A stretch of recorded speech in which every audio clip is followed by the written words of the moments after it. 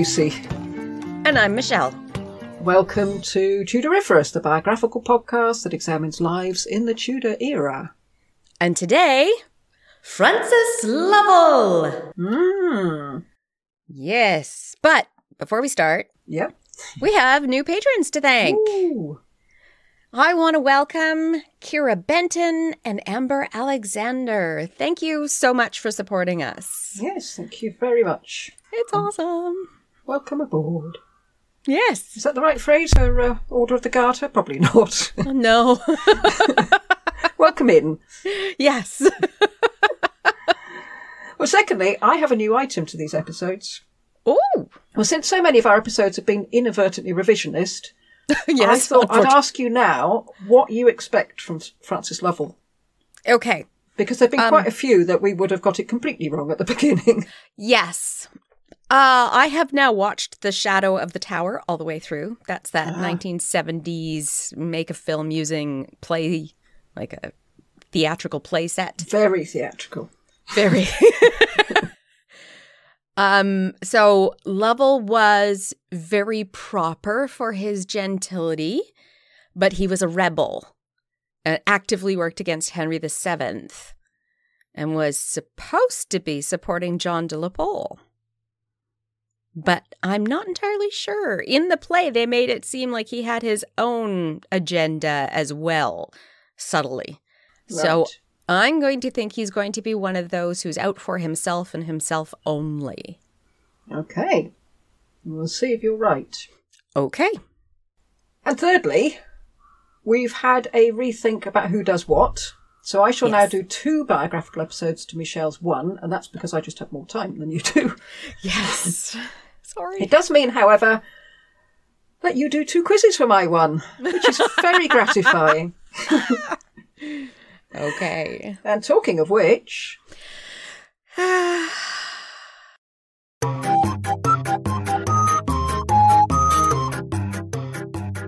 Quiz. question number one. This is about William Stanley. What is his name? William. Woohoo! Got one. William's second wife was Elizabeth. Which notorious character was one of her previous husbands? what? You've gone back to questions about not William? It's not his wife. Um, I have no idea. Notorious, notoriously. I'd like to say Empson or Dudley then, but I know it's not. Mr. Tiptoft. Oh, the Earl of- Tiptoft. Earl of, Earl of Worcester. Yes. What did William organise during Henry Tudor's march to Bosworth, which we felt was blowing William's covers somewhat? Oh, safe havens basically for Henry to get through the Welsh marches. But there was another thing which was more overt. Giving him towns? Uh, well, he didn't give him a town, but he welcomed him into Lichfield with full Yes. military honours. Yeah. Yes. Basically, giving him the town was how I pictured Oh, that. Yeah. Yeah, but we thought, you know, tone it down a bit. You're Yes. be incognito. You're supposed to be impartial. Number three. Which two of the highest positions in this land were given to William? And I'll take just one of them if you want, since it has been a while since, and I forgot to put the uh, script up on the on Google. I'm I'm struggling to separate him from Thomas. Was he steward? Uh, well, I'll give you a clue. Lord Daubeney um, succeeded him. That's not going to help me. Uh, well, I could tell you that Francis Lovell preceded him. Oh, jeez. But that's not going to help you because we haven't done the episode yet. I'll tell you, it's Lord Chamberlain. Lord Chamberlain. Okay. And also, he was Chamberlain of the Exchequer. So far, I've gotten one and my my self-appointed bonus point. Which t- uh, number four? Which title was William desperate to have? We felt he was a bit of an Edmund de la Pole about it. yes, he wanted an earldom. He did. Well, that's a title. Earl of Chester. Chester. Yes, because his brother yeah. had Lincolnshire. He wanted Chester. Yes, that was his seat of power. And number five, what was found in William's home that incriminated him? Apart from quite a lot. Was it the coat that was reversible? No, that was John. It was a present. No, I'm thinking of the incrimination was the seals. No, we never found out for certain whether he had sent. No, it's the gold necklace given to him by Edward IV Right. that he didn't get rid of. Which I still think doesn't really incriminate him. I wouldn't have thought so, but they they were Yeah, looking they for did. something. They were Yes. looking for something to, to hang, well, literally to hang off him. to hang him for. Oh my gosh, that's my worst one. One point. Well, yeah, as you said, I did forget because you normally we put the um, the transcript up on uh, on Google Drive for each other to see. So Yeah, because I do learn better from reading. it's a big gap between the recordings sometimes. Yes. That is enough of that. Let's crack on. Anyway, come with me, if you will, to Minster Lovell Hall. It's the early 18th century, and the old hall is undergoing some much needed renovation. The workmen are tired and hot, and be glad when they can knock off and go home. They've been told to pull up the flagstones so that new foundations can be laid. They've been at it for hours and are thoroughly fed up. But suddenly one of them gives a shout. This flagstone rings hollow, and it has a metal ring set in it. It takes two of them to lift it, but when they have, it reveals a large black hole in the ground, an underground chamber. The foreman lowers a candle on a piece of wire down, down into the hole, and almost drops it when the candle lights up a gaunt, eerie face. A skull. As the candle stops sputtering, they can see more. A skeleton sitting bolt upright at a table surrounded by books and papers, his quill in his bony hand. And then, before their wondering eyes, the skeleton and all his books and papers turn to dust and scatter to the floor. There you go. Oh, I love secret chambers. Please, I'm hoping that person didn't starve to death and it was a priest hole that, that somebody forgot to get him out. it's, it's just, you know, a few months later, they're thinking, "You did get him out, didn't you?" no, I thought you did. Don't open the floor. Yes. Let's not tell anyone this ever happened. yeah. Oh, that's cool. Did that really happen? Yeah. Woo! That's even better. I have to say that the book from which I got most of the information about Francis's early life was full of words like probably, may, might. Yeah. It's thought that. It's quite possible that. Perhaps. It seems reasonable to assume. It can be surmised that. This goes some way to explaining. Nothing survives in the historical record, but it has sometimes been postulated that. And we just don't know. And I've taken those all from the book. Well, that's pretty much inevitable with childhoods, and much of it is, was extrapolated from what was known of other noble upbringings.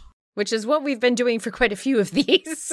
yes, but with Francis, it is adulthood too. oh no! Mm. I, I've just stuck to what we know with a bit of speculation thrown in. Quite a lot of speculation thrown in.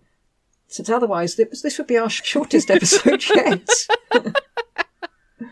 but a lot of it seems to be the fault of Francis himself and his personality, as we'll see. Oh, okay. So now I'm thinking he was secretive and sneaky.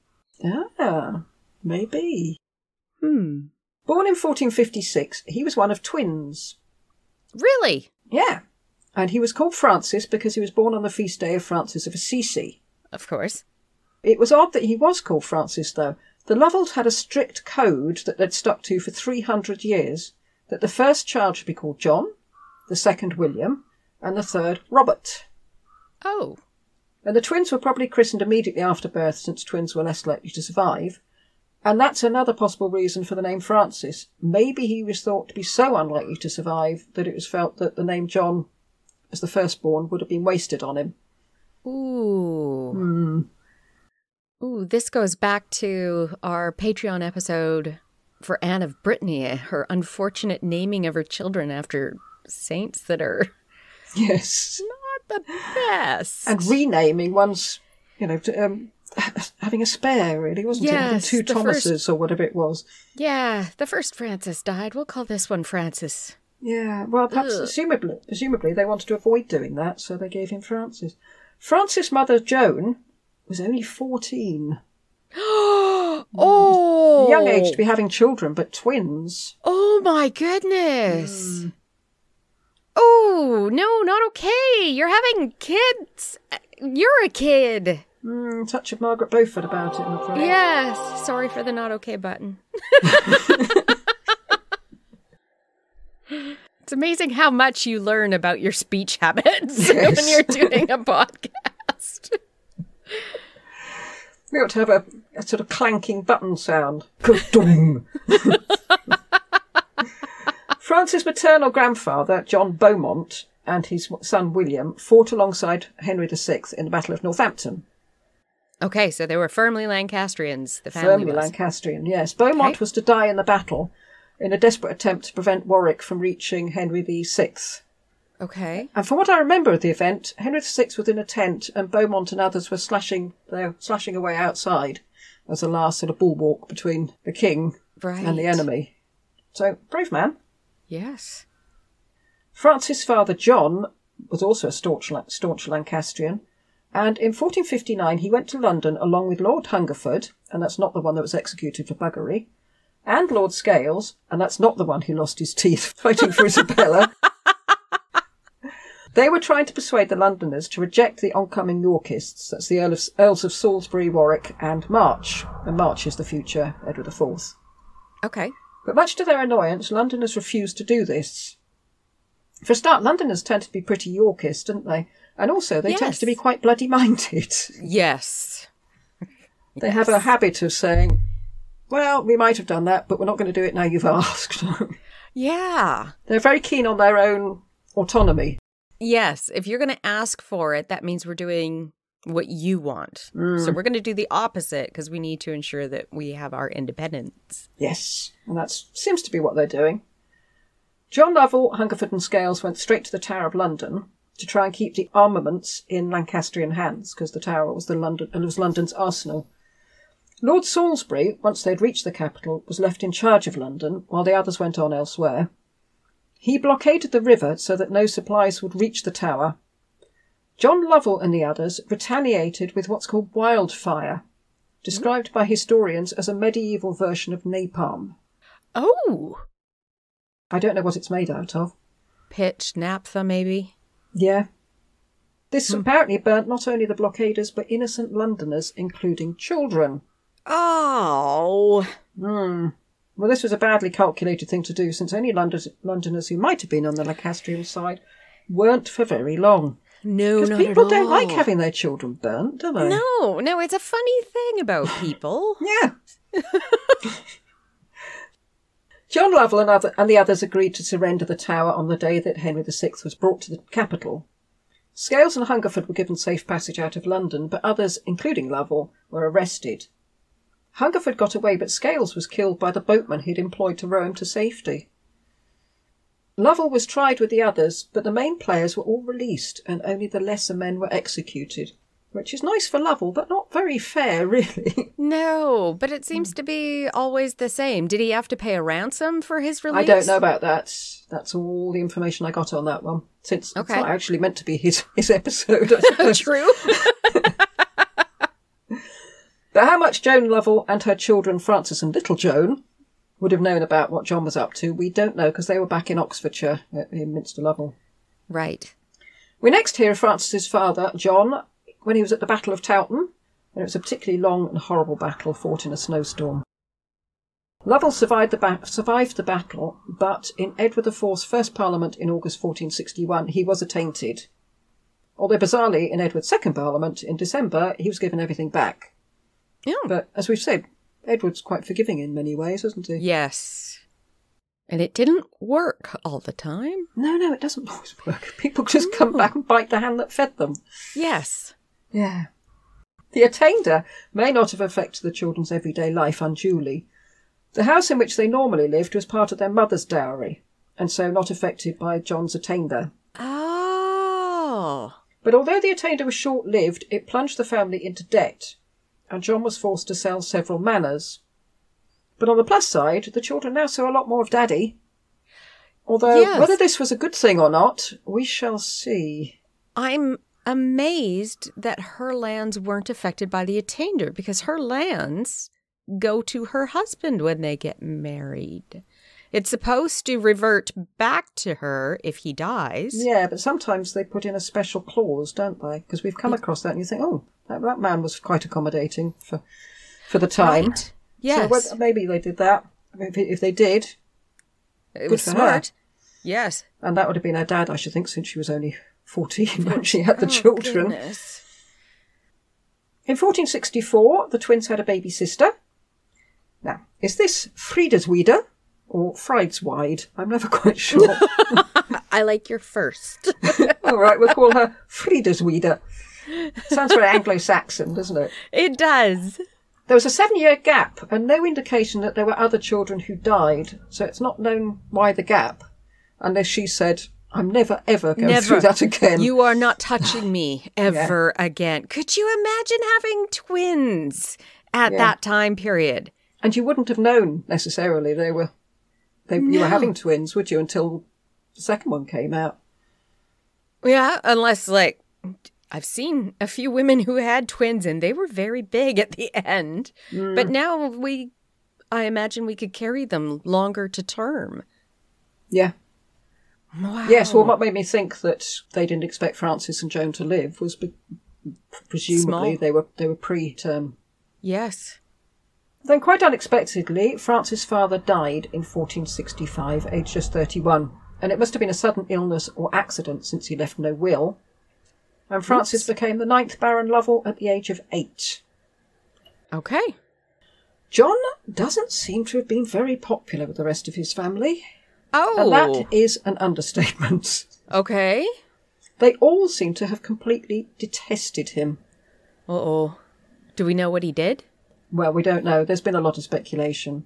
If you go to St Kenelm Church in Minster Lovell, you will see a tomb for Francis's grandfather, but you won't see so much as a headstone for his father. Wow. Hmm. The family may have been short of money at the time of John's death, but there's more to it than that. John's brothers had money, and Francis later became rich, so he could have. He could have Yeah, put one and in later. should have. No. No, and it's not just an oversight. This is a definite decision. Darn it, now we want to know what he did, because it had to have been bad. Well, tellingly, Joan, Francis's twin sister, chose not to name her first son John, as was customary. Instead, she ah. she called him Brian. Sorry for any Brians. That sounded very startled. Did the name John have unpleasant connotations for her? If it did, then he was mean to his children too. Hmm.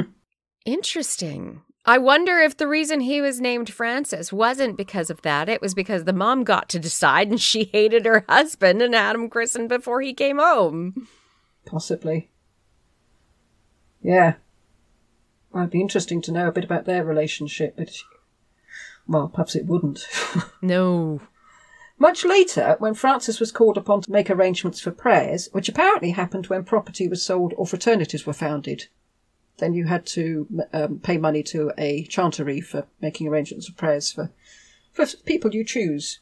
When when you sell property? Apparently so. Oh. It's not something I've come across before, and it's not something that seems logical to us, but No. Unless no. no, I couldn't think of any reason for it either. Yeah, I went through the, oh, maybe, oh, no. No. I was thinking maybe the monastery did the legal work. No, they had lawyers. Mm. Huh. Yeah. No, maybe we should do something on paying people to pray because that was a big thing, wasn't it? It was. An important thing, which is why it's so extraordinary that he asked for prayers to be said for his grandfather, but not, not his his- father. And this is unheard of and was doubly bad because not only was he not helping John through purgatory, but Francis was risking his own soul. Because he was very pious, and organising prayers for others added brownie points to your own progress through purgatory as well. Oh, yes. I thought maybe you were there was some sort of specific caveat for family members. Hmm. Well, he'll get the brownie points for other people. Yeah, yeah. It's just, it is odd. Francis's grandfather didn't like John either. His own son. Jeez, what was this guy like? Because if he was dead by the time Francis was eight, hmm. The damage had been done. Yes, what could you do in such a short amount of time to have your kids loathe you? Well, there has been speculation, which we'll come to later. Okay. Yeah, Francis's grandfather, in his will, he gave much of his money to his second son and didn't even refer to John as his son, but as his heir, which is a legal oh. description, but not a very affectionate one. No. John's father in law didn't like him either. Then why did he agree to the marriage? He probably didn't know what he was like at the time, I suppose. Oh. Mm. He referred to him as, quote, John, by the wrath of God, the husband of my daughter Joan, unquote. And you picked him. Good job, Dad. Yeah. Well, why did they all hate him? Well, maybe either John was a gambler, and that's why they got into such debt, or he was violent and abusive, or both. I'm going violent and abusive because getting mm. into debt doesn't make everybody hate you. They'd be angry, but they may not loathe. Not everybody would end up loathing you. This sounds like he was universally loathed. He, squirt- he squirted Londoners with napalm. I mean, Yes. I think that probably says it all, really, doesn't it? Yes, he probably hurt cats when he was a child. Yes, dropped them off high buildings. Within days of his father's death, Francis became a ward of King Edward. For a while, the king kept hold of the wardship, since that meant he got all the money from Lovell land. Right.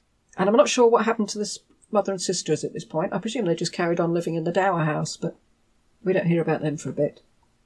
Then it seemed that the wardship had been handed over to Richard Neville, the Earl of Warwick, because he quickly married the eight year old Francis off to his niece Anne Fitzhugh, Oh, probably in 1465. How old were they? Francis is eight, Anne is four. Oh, goodness. Mm-hmm. And that's why we think that he married Anne and not one of the older sisters, because the older ones weren't married yet, so it's odd that the youngest one was married first. But she was probably closer in age to him. Right, yes. And miraculously, this is one of the few weddings we've come across when a papal dispensation was not required. Because they're, they're hardly related at all, these two. That is rare. yeah. It's not known whether Francis is it's not known whether Francis was sent to Warwick's home to be educated after his marriage, or whether he lived with his mother. But putting this little Lancastrian boy into a Yorkist household would have helped because he'd grow up with an affinity to Edward. So maybe he was with Warwick because that's really what they wanted, wasn't it? A bit of uh, m- Yes. mind manipulation. Yes, and if he hated his father, who was a Lancastrian, yeah. gives him another reason to go for the Yorkist party. Yeah. But either way, despite appearances, Edward IV still had the wardship because he was still claiming money off the Lovell land. So at this stage, he hadn't given up the wardship, but just let him choose Francis's wife. And this seems to be a concession to Warwick made by Edward, maybe as an apology for marrying one of Warwick's relatives to a Woodville. and this is the marriage, the infamous marriage of that 20 year old boy to the 60 year old women, woman that Yes. upset everybody so much. Yes. But then, rather gratifyingly, she outlived him. Well, gratifying, poor bloke. Rather, rather ironically, she outlived him. In late 1465, Francis would have learned that ten months after the death of his father, his mother was to marry again. That wasn't that uncommon. They were supposed to spend at least a year in mourning, but I found quite often as we're going through this that the marriages were arranged and sorted out before that year. If you've got children, it's often, certainly for the man, it was quite a necessity because you needed someone to look after your children. Yes. And also for the woman. Yeah, you wanted a Security, stable family for your children. Yeah. yes, because you have no voice. You need somebody to advocate for you. Mm. It's funny you should talk about security and safety because she married William Stanley. Oh, And Stanley was a staunch Yorkist by this point. Joan had been married to a staunch Lancastrian. We don't know her views, but was this a deliberate ploy on her part to rid herself of any taint of treason? You know, I'm not a Lancastrian. Look, I'm married to this this Yorkist. Maybe Not she just liked William Stanley. possibly. And we're mean, they- talking about William Stanley the Elder, not not the William Stanley we just covered. Oh no, William Stanley We are? was covered. Yeah. Now you're trying to work out how the hell did she like William Stanley? Yes. well, she did. Well, she married him. And she might have had a choice this time, because sometimes you did on the second time round, didn't you? Yeah. And maybe Well, when he wasn't shouting abuse at Queens, maybe he was a lovely man, I don't know. possibly. And I think I wrote in William Stanley's episode that he married Elizabeth Tiptoft, presumably after Joan had died, Okay. which was a bit vague since I, you know, wasn't particularly interested in Joan at the time. I was interested in the widow of Mr. Tiptoft. Yes. But we have a bit more information. Joan died either in childbirth or soon after due to complications, and she was only twenty-five. Oh. Pity. I'd rather I rather liked Joan. The little we knew of her. Yes. All I can hope is that her second husband was nicer than her first. So now the children are orphans. Uh, we don't know what happens to the girls immediately after their mother's death, but four years later they're being brought up in the Fitzhugh household. That's Francis's parents-in-law. Okay. And I don't know why they were there rather than staying with William Stanley, except that Alice, Alice Fitzhugh, the mum, had taken in several children whose parents had died. So Okay. maybe she was just a very motherly person. We'll hope for that and not that they were paid to take in the children. Might have been. Hmm. But it wasn't wasn't a hatred of William Stanley because Francis got on well with him. Well, we, we can hear about him getting on well with him for many years. So Okay. maybe Stanley just didn't didn't know what to do with two two little girls. Yes. when Francis entered the Warwick household, he would have been educated alongside the king's brother, Richard Duke of Gloucester. And Oh. again, this is yet another of these sentences that start. We don't know how Oh, close no. they were at this point, but later they became bestest buddies. Yeah. and that coloured the rest of Francis' life, his friendship with Richard. When his wardship was handed over to Warwick, it wouldn't have made much difference to Francis because now Warwick was getting the money for the Lovell lands instead of the king. Right. So it's still bypassing him. Oh, yes. How old is he now? A bit older than eight. I'm just wondering how much how much longer does he have until he becomes of majority? I think he's about 13. Okay, so Oh, maybe, no, maybe a bit earlier. Maybe 10, something like that. so three or four more years. Wow. Uh, quite a bit more, actually. No, it's it's 21 before he gets his majority. Really? Mm. He's got a long wait. 21. Yeah, apparently so. Others got it at the age of well, it seemed to be quite fluid. 16, hmm. 18, now 21. I've I've never heard of it lasting that long. I think maybe if your warder is Port Warwick, you're not in any position to argue, are you? True. About, about, True. He seems like a very forceful character. yes. Yeah, it's thought that Edward handed over the wardship to patch up what was then becoming an extremely dodgy relationship between the king and the kingmaker. Oops. Ah, but obviously it didn't. By 1470, Francis had left the Warwick household and was living with his wife and sisters with the Fitzhughs.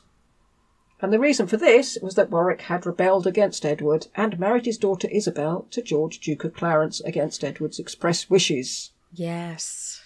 And unfortunately, we don't know Francis's opinions on this. and now he's 13, so he probably had some.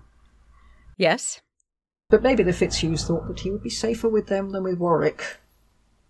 Which is most likely true. Yes, well, it would have been, but it was out of the frying pan into the fire, really, because after Warwick and, and Clarence had fled to the French court and made their peace with Margaret, Margaret of Anjou, Henry Fitzhugh, Francis' father in law, decided to rebel.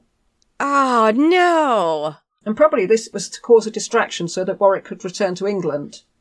Right. Henry Percy, the Earl of Northumberland, wasn't able to quell the rioting, so Edward head- headed north himself. And this put the Fitzhugh rebellion on the back foot because they hadn't been expecting to fight the king. So the rebellion just fizzled out. Right. Jeez. Edward decided the best policy was to pardon everyone, and that included Henry Fitzhugh, and also Alice Fitzhugh, Francis Lovell, and his two sisters. Why would he have to pardon the children? Well, it doesn't imply they were involved, but it was it was customary to include a blanket pardon on the family so that any taint of rebellion couldn't be held against anyone at a later date. Okay, except their children. Why? How could you hold it against them? He doesn't even have access to the money from his lands. He's got no power whatsoever. No, but I suppose it's peace of mind, isn't it, that no one's going to come and say, "Aha!" But you were in the Fitzhugh household when they Yeah. rebelled. Yeah. But you're still a child. Yes. well. okay. But then Warwick and Clarence were back, and they beat Edward, who fled to the continent with his Rich- his brother Richard, and Henry VI was back on the throne. And apparently Henry Fitzhugh made an application for safe passage to Scotland, because he was already foreseeing that Edward IV would return, and may want revenge on the man who'd caused the distraction, so that Warwick could re-enter England. He was making contingency plans to get his family, including Francis, to safety. Okay. In the event, when Edward did return, this proved unnecessary because he had bigger fish, fish to fry than Henry Fitzhugh, so he didn't go after him. Warwick was killed fleeing from the Battle of Barnet, and that was the one fought in the fog, where Oxford's men got the emblems muddled up and fought with each other. Yes. Again, frustratingly, we don't know what Francis thought, because he'd spent four years, presu- presumably he'd spent four years in that man's household. Don't know how much time Warwick was actually there, but we don't know what his opinion of Warwick was. You know, did he like him? Was he frightened of him? Was he a shadow, shadowy figure in Francis' life? Did Francis resent the fact he was getting the money? Did they even meet? I don't know. Annoying, isn't it? Yes. So Francis had been a ward of the king and the Earl of Warwick, so who would be next to have him? In 1471, he was sent into the household of the king's sister Elizabeth and her husband John de la Pole, Duke of Suffolk. Ah. And he's the senior one, the subject of our third biographical episode, which turned out to be not quite as exciting as we'd hoped. the Suffolk were granted all the manors, rents, properties, etc. that Warwick had had, but the king added a codicil that they could not have anything that Francis would later inherit. Because Edward IV was obviously thinking of Francis' wealthy grandmother, Alice, who was in her 60s, and the king intended to keep part, part of the goodies for himself. of course. Hmm, sorry, everyone's called either Joan or Alice. It's confusing. Yes. apart from Frideswide. we saw how John de la Pole Sr. liked to keep his head down and get on with local affairs rather than getting involved in the rat race that was the court. Which was the smart move. And or he was skint, so he didn't have a lot of choice, did he? True. But it does seem odd to talk about a man who rebelled against the king like this, but Francis followed a similar plan. Because apparently he was a calm, quiet man who didn't make enemies. Really? He's not. Oh. And now Francis was growing up in the same household as John de la Pole Jr., who was also to remain a lifelong friend. Mm hmm. Up until 1472, Francis had seen little of his wife. She was 13 now, and after this date they met more often and were able to get to know each other better. It's nicer than, hey, here's your husband. Go have s- sleep with him. But I'm 13. No, just stop whinging. In 1474, Francis' wealthy grandmother Alice did die. Anyway, it's the king who starts raking in the cash, which he used in part to pay his debt to his wine merchant. Oh, jeez. You know you're drinking too much when you have to steal money to pay your tab. Steal money from a child. Uh, yeah. In 1475, Francis left the Suffolk household and moved into his own ancestral manor, Minster Lovell Hall, presumably to wait for his wife's arrival.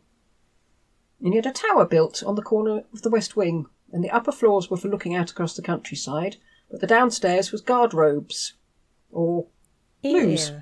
Yeah, with everything being taken away by the river. So very, very healthy. Just don't swim in the river afterwards. And apparently Richard of Gloucester had done something similar with Sudeley Castle. So from that it's been speculated that they were definitely now friends, or at least in contact with each other enough to discuss the finer points of architecture. Finer points. Not the terms I would have used. it's building a few holes in the floor. Gosh, and can you imagine the smell of your clothes? And the idea of hanging your clothes in a garderobe was that the smell would keep the moths away from eating your clothing? Yeah, we keep everybody else away as well, wouldn't we, once you put them on? Ugh. When Francis was 21, on the 17th of September 1477, he reached his majority, and the calendar of patent rolls records that he was granted his property in November, which is apparently pretty quick. Hmm. This implies some influence brought to bear by Richard of Gloucester, or the king's sister Elizabeth of Suffolk, or Francis just paid money to get the whole thing moving. Well, I'm guessing since Francis doesn't really have money, it would have to have been influential I would have people. so. And if he was that close with Richard, Hmm. Richard still had a really good relationship with his brother at this point. Yep. I'm presuming his sister did as well. I don't know. We don't hear much about Elizabeth. She's the quiet one of the family, really, isn't she? Yeah, good girl. Just stay out of it. He's probably at home thinking, oh, what have they done now? Yes. In October of that year, so straight after his birthday, he took the king to court to claim back some land which Francis said had been bought by his grandfather from Richard of York. And an interesting bit of legal insight Francis's mother in law entered into a bond of surety of £200 with the condition that Francis would accept the findings of the court. What? Yeah, it's an interesting one that it's not automatically assumed that you will accept it. Yeah. I, I don't know whether the king had to enter into a similar bond. Oh, I doubt not. it, but still. Interesting. Yeah, I thought so. So if he went against the bond, She'd lose the money. Mother-in-law's lo- lose a lot of money. Yeah. Hmm. Needless to say, the court found in the king's favour, and Francis didn't dispute it. And Francis also had a very long-running dispute over land with the king's stepson Richard Grey. And I read that Francis was most unusual in that he didn't resort to violence, because apparently that was standard property haggling tactics. Yes, we saw that where people were actually kicking everybody out of homes and taking military control of them because they figured they should own that house. Well, presumably that's what they were stopping uh, Francis doing by that bond. So, Yes. accept it, don't just go in and take the place. Although he did send men to occupy a manor owned by the Bishop of Winchester that Francis claimed was his, and it's only because the bishop's men let them in without a fight that violence was avoided. Oh. But Francis spent a lot of it this early time of his majority battling through the courts to get what he claimed was his, mostly unsuccessfully. Ugh. I say uh because I'm feeling bad for him because it sounds like nothing is quite going his way with his own lands. But then I don't actually know if he's if his claims have any valid basis. Well, I suppose he's had three different ward- wardens. Wardens? Warders? Warders, I suppose. They they were called all of the above. Right.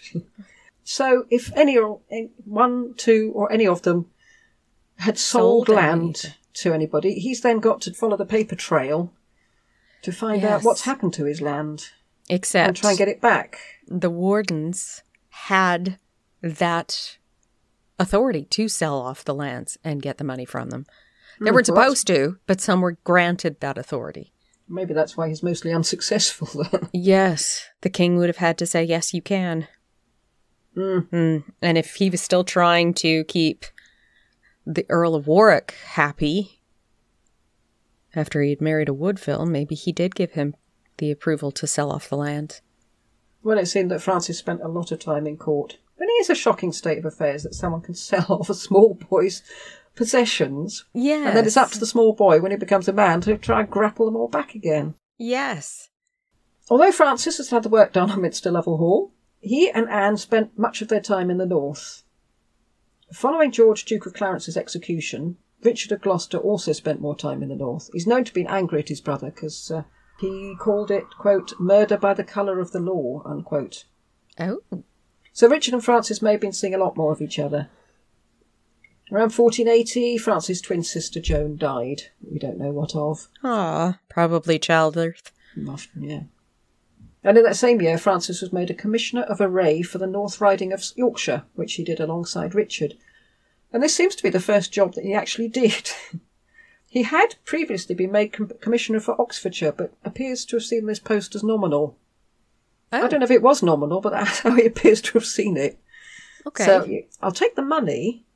but but- I'm not going to do much for it. No. But in 14, in 1481, Francis went to war. He was part of the army led by Richard of Gloucester, which invaded Scotland. Although, although the war itself was inconclusive, Francis was knighted for his military efforts. And he was also given permission to knight two other men, one of whom was Richard Ratcliffe, about whom more later. Hmm. I always assumed, before we started doing this, it was the king that did all the knighting. So did I. That's what I'm pondering at the moment. Well, I know um, Henry Tudor knighted people, didn't he, when he arrived in Wales? But then because he thought he Yes, but he saw thought he was himself gonna- then as king in waiting or the real king. Yes. But presumably, uh, Francis has been given this permission by Richard. Presumably, the king's given Richard the, the, the, the right, and Richard's passed it on to Francis.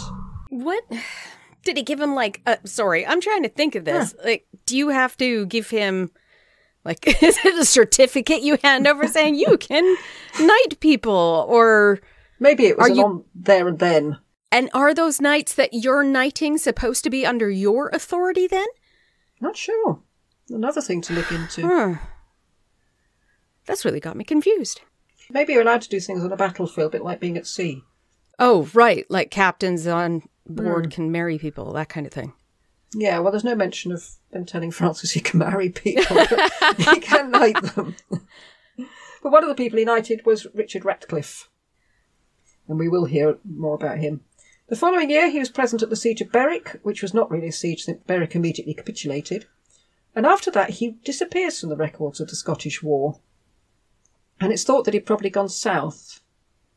Uh, well, he wouldn't go north, would he? I suppose inevitably he'd gone south.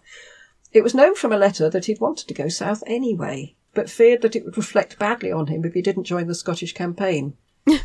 so it, seems he seems to have done the bare minimum. He'd Yes. gone to Berwick to show his face, and then, uh, and then just Hello. turned, turned around and went home.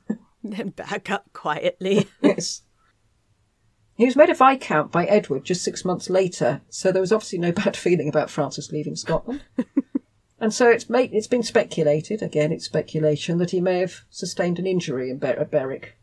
And so Oh. was invalided home, but I don't know what sort of injury. I mean, it wasn't a proper battle. Maybe he just tripped over something. I don't know. he was mounting his horse and fell off the other side. Everybody went, just go home. Yes, you're just you're not built for this sort of thing, Francis. Go home and build yourself more loos. In 1482, Francis was invited to spend Christmas at court. And Oh. the following year, he attended his first parliament. Did he attend as one of the members?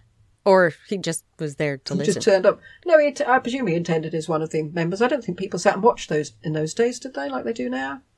I, don't don't, know. know. It would have been more entertaining. It's They true. were, they were still throwing fists and everything. Yes. And as I said, he was made a viscount, and Edward only made two men viscounts during his reign. But it is hard to see why he chose Francis to be one of them, because he doesn't seem to have acquitted himself with particular merit in war. No, and unfortunately, I'm now picturing him falling off of his horse. Yes. he hadn't been at court before, and he hadn't done any high profile jobs. It seems that his friendship with Richard may have been crucial here. Although yes. Edward wouldn't have given him an honour purely based on his friendship with his brother, I wouldn't have thought. So maybe Richard was able to tell Edward that about things that Francis had done that we don't now know about. Yes. That sounds more likely. Hmm. Or maybe Edward felt that since a viscountcy didn't come with land or privileges, he wasn't going to lose out by the transactions. So he thought, Oh. yeah, have one of these. Yeah, Oh, it doesn't. no, I made the not. assumption they all did. Well, apparently not viscounts. Huh. Is this before or after he had executed George? After.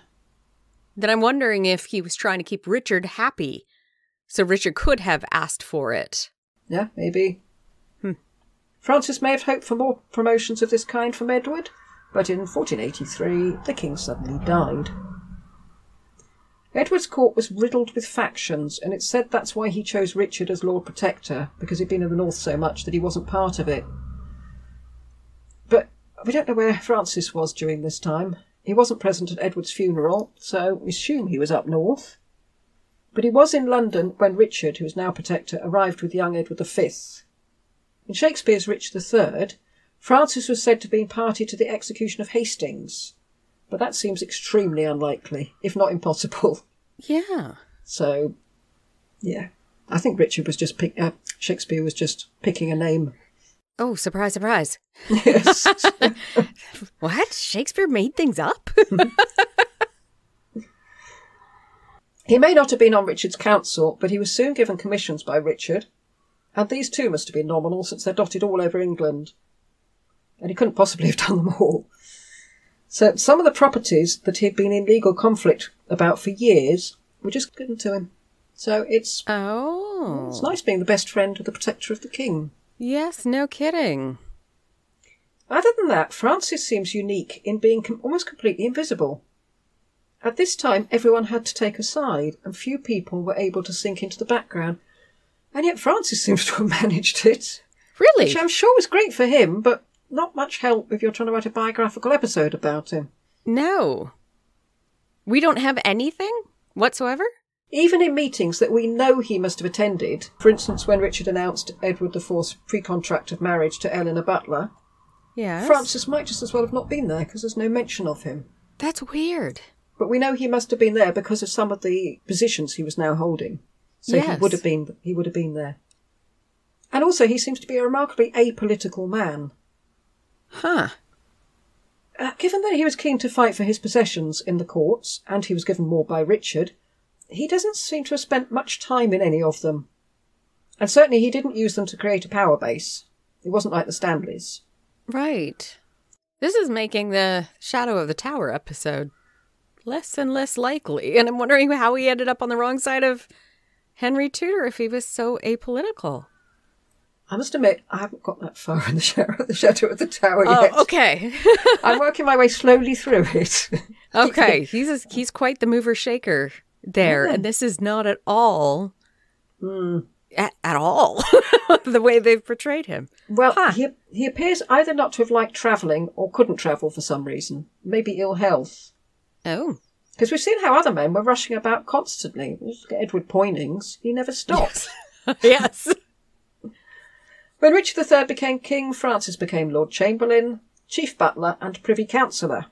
All jobs that required no travel at all, Oh, because all these posts kept him at court. yes. So the only travel he would have done was in progresses. Did Yeah. Richard manage to get in any progresses into his short reign? Yes, yes, he did. Okay. Uh, he went up north. It's been suggested that he may have been delicate due to the youth of his mother when she had him and the fact he was a twin. Oh, yes, premature. It's Yeah. also been suggested that asthma may have been the problem, but I don't know where they got that from. Oh. Asthma, tuberculosis would be more likely, considering the time period. yeah. Hmm. But we just don't know. Of course not. He's the most frustrating person. All the articles I read about him said how frustrating it is doing anything. And there's a whole book about him. But There's a book about this, and this is what we've got? yes. Oh, But as I say, it's full of things like we can only speculate that because that's all you can do. He just doesn't appear in the records. And we know he must have been there. yes. Those are prominent roles. He should have been more vocal. He. Well, I was thinking when we did William Stanley, the bit when he was Lord Chamberlain was the bit it went, when it went quiet because he's effectively just getting on with his job. Hmm But he was doing other things as well. He was fighting beforehand and he was being a traitor afterwards, so we got all that bit. Francis' life is being the Lord Chamberlain, pretty much. So we're getting the bit that we don't hear much about. He's just doing his job. Perhaps. But just. The Lord Chamberlain wants to be the Lord Chamberlain for having influence. Well, yeah, well, some chamberlains were accused of restricting access to the king to those who were in their faction, but there's no complaint about, of that sort about Francis. Yeah, sure, you can see the king. Yeah, in fact, there's no complaint of any sort about Francis. Oh, wow. Yeah, he does come across as being quite a decent person. Yes, and stayed away from any sort of faction. Because most hmm. of those complaints seems to be the people on the opposite side of you. Oh yeah, you're not going to get Yeah. complaints from the people you let in, I suppose. I am neutral. I am Switzerland.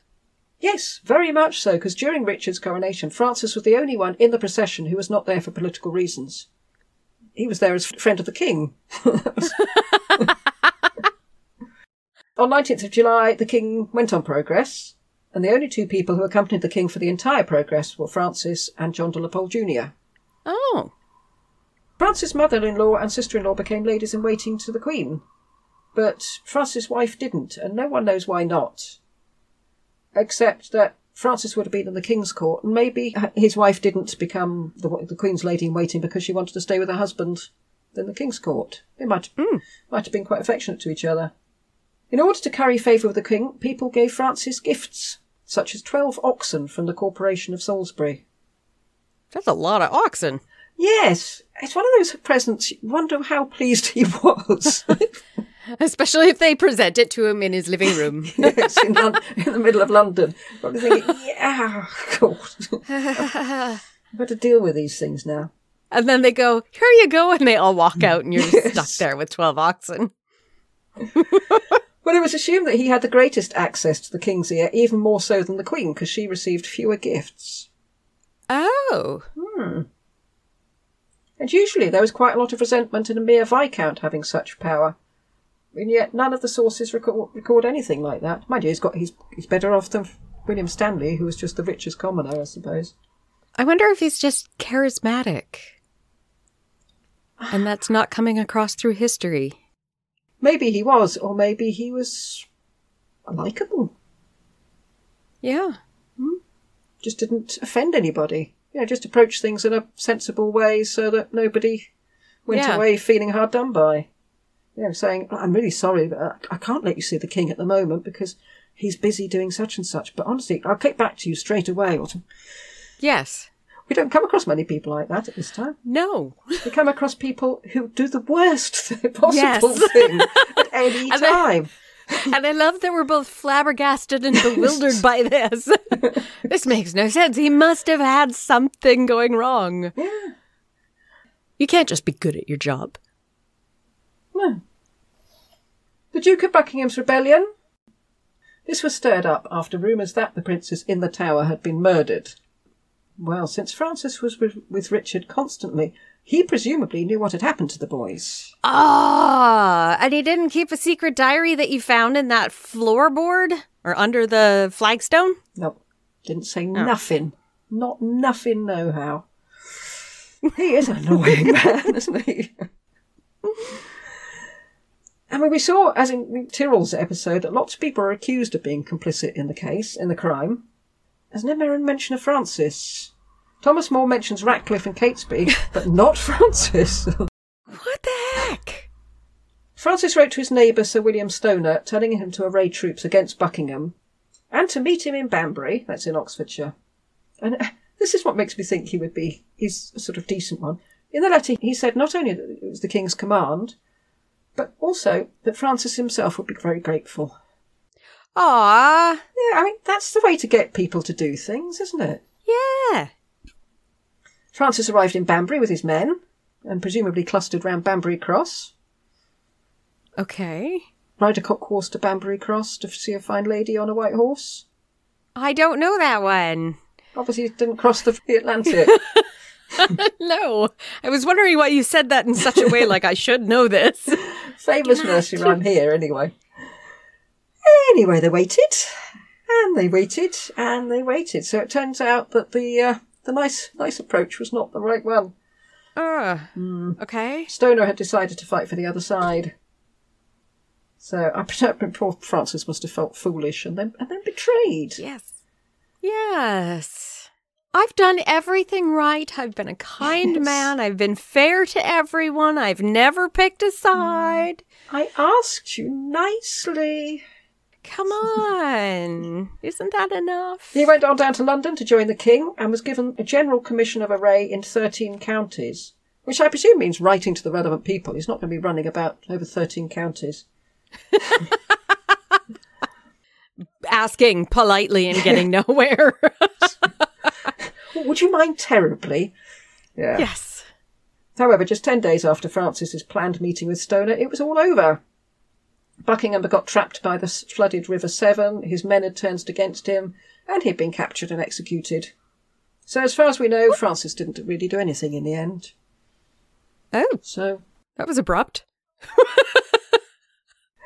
He was involved in the aftermath, though, because he was appointed to lead a commission, quote, to arrest and imprison all rebels in the countries of Oxford and Berkshire, and to take their castles, lordships, manors, lands, chattels, and possessions into the king's hands, unquote. Could I please have your castle? The king wants. it. Yes. Now, I know it's inconvenient, but if you could do me this great favor. I mean, when you've finished with it, don't don't put yourself out. Yes. You can have time to pack up. It- It's okay. Richard's first parliament was postponed due to the rebellion, but when it was finally called in December 1483, Francis was the Speaker of the House of Commons, Oh. which was not bad considering he only attended his first parliament ten months previously. In this parliament, Richard passed laws that even the most anti Ricardian accepts were radical and exceptionally beneficial for his subjects, including the right to bail. Yes.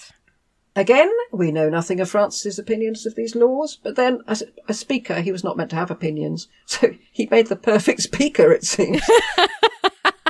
I will be impartial and fair. yes, because I don't care either way. Yes, naughty, naughty. Yeah. Don't say that. That's rude. and maybe this lack of political ambition is what made Richard feel safe with him, because he certainly wasn't going to overthrow him. no. And if he did, it would be very politely. Yes. Would you mind stepping aside? No? Okay. Forget it. Forget I, forget I said anything. Yeah. Yeah. No, it's fine. It's fine. With all the rents from the lands he now got, Francis' annual income was now at the very least £2,000, making him, in today's terms, a multi-millionaire. Ooh, that's always nice. Mm. But still, he didn't buy that headstone for his dad. He could definitely afford it now. Oh, yeah. It's thought that Richard was trying to set Francis up as the power base in the Midlands, but this failed due to Francis' quote, own inclination, unquote. You know what? I just, I'm not feeling this at the moment. it's just, It- it's just not me.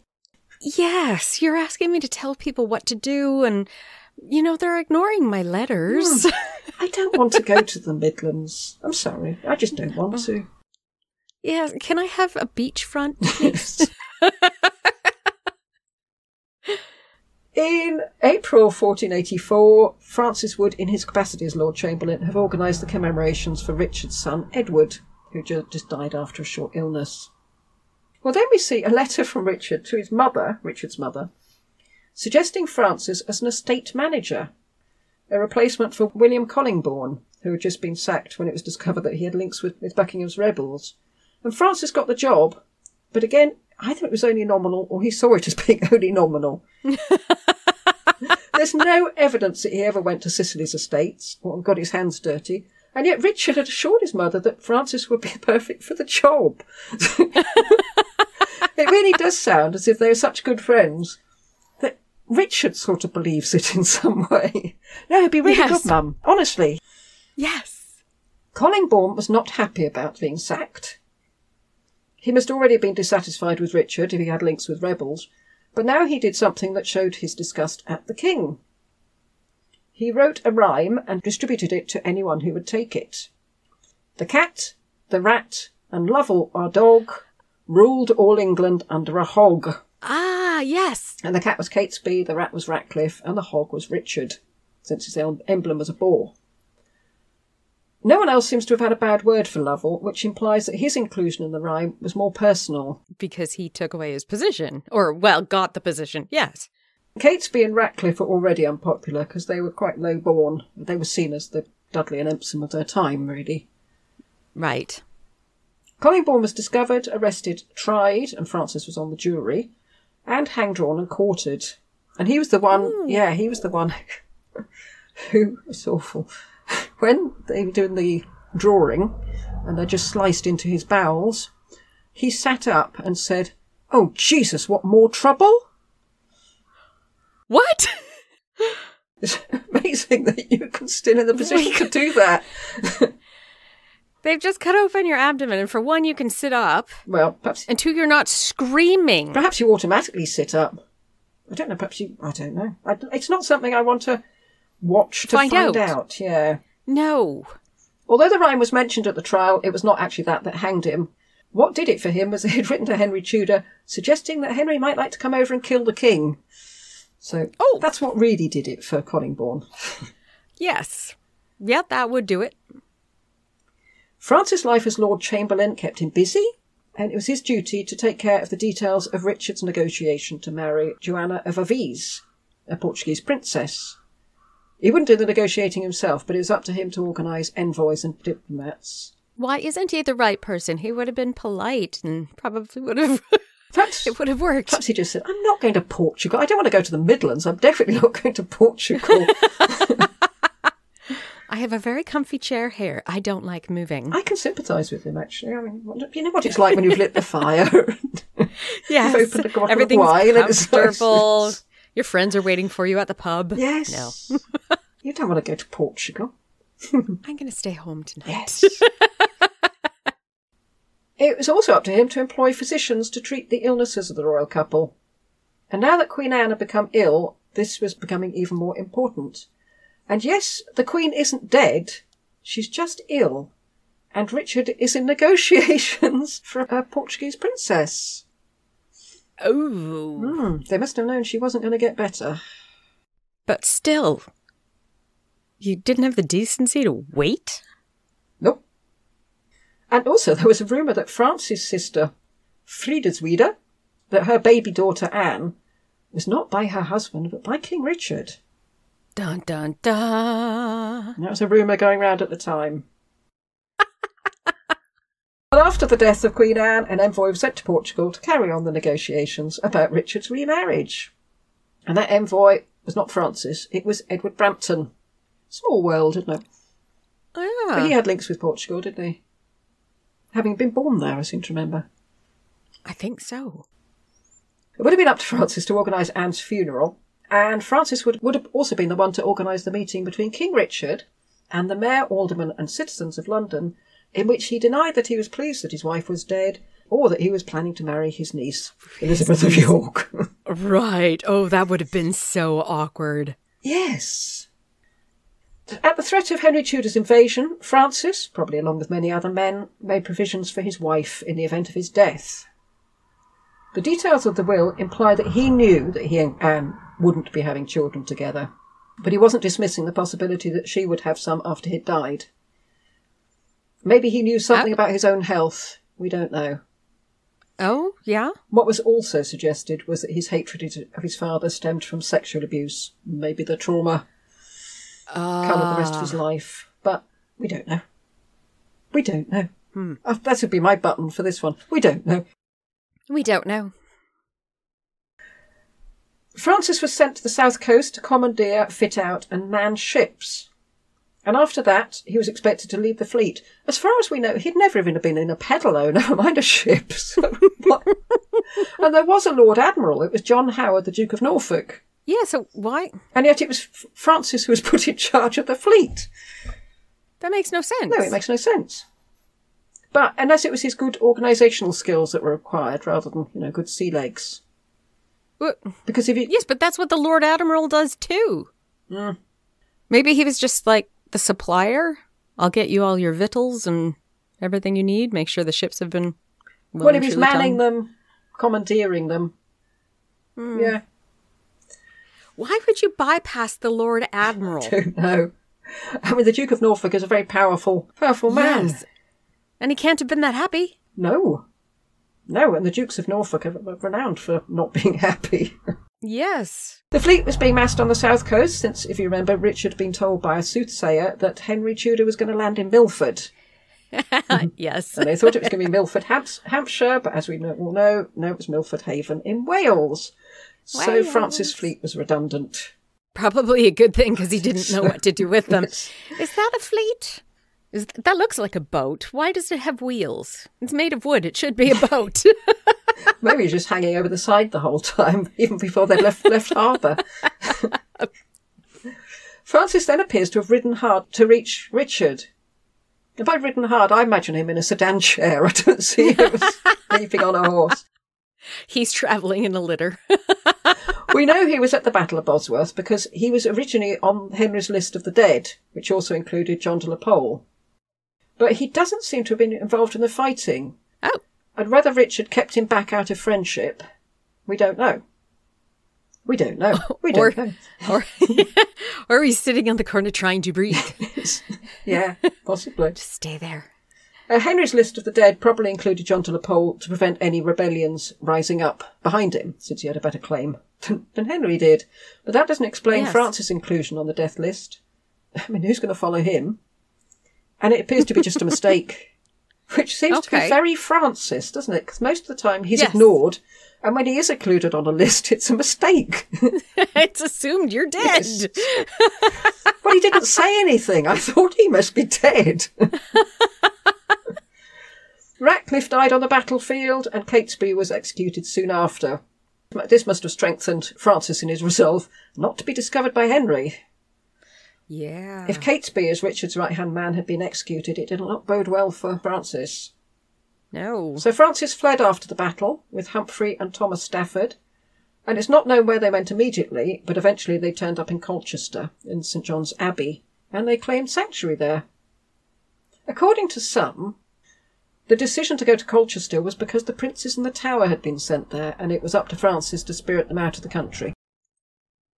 But who knows? Hmm.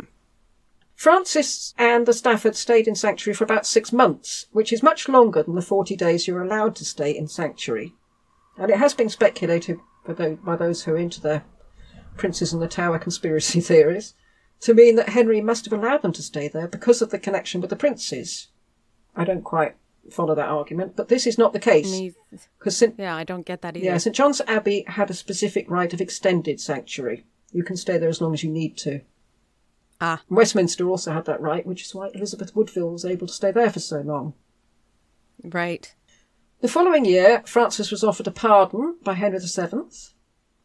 By rights, he shouldn't have needed a pardon. He had fought, or at least he'd, he'd attended the battle, for the lawful King of England, so there was no way that could have been treasonous. Except that Henry had put the date of his reign to before Yes. Battle of Bosworth. Yes, that is so sneaky, isn't it? Yes, it is. but, but clever.